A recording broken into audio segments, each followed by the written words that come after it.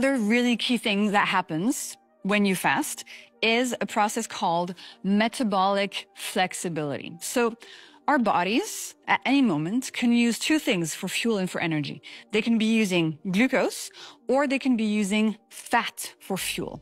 Now, if you have to snack every two hours, if you're constantly hungry, if you can't go five, six, seven hours without eating, without becoming shaky or lightheaded, you're probably not very metabolically flexible, meaning your body is not very good at burning fat for fuel.